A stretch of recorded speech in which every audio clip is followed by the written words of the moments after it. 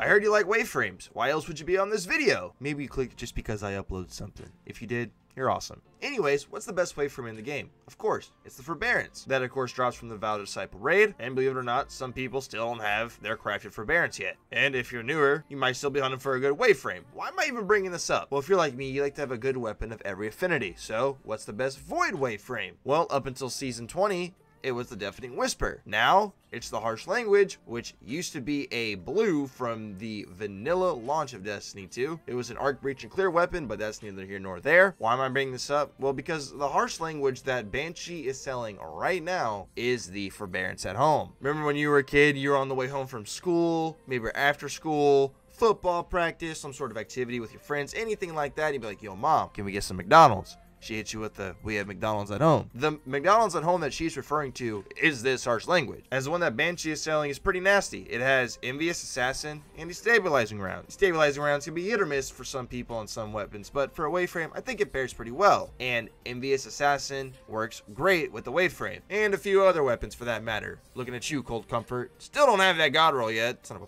and if we just go ahead and pull up the perk for this gun real quick, you'll see this is definitely one of the better perk combos, if not the best. I know some people might like threat detector or field prep in the first column. And then repulsor brace whenever we have volatile flow is definitely better than destabilizing rounds. But since we're not always going to have volatile flow, destabilizing rounds is still a really good pick, especially comboing that with Envious Assassin. If you just want to get additional shot in the mag, all you need to do is just get one kill and then just swap over to your grenade launcher and it'll be overflowed. As the way Envious Assassin works is that upon readying this weapon within 10 seconds of scoring kills with other weapons, it's going to overflow the magazine from reserve based on the amount of kills achieved within the 10 seconds of each, and the overflow amount maxes out at 150% of the magazine capacity. Also, primary weapons have a different value versus something like special or power weapons. I know it's reset day, but do y'all really need a guide on how to destroy the fallen Saber Grandmaster? No. So I figure at least go ahead and make a little heads up for you guys in case some of y'all are looking for a good wave frame, or at least a good void one.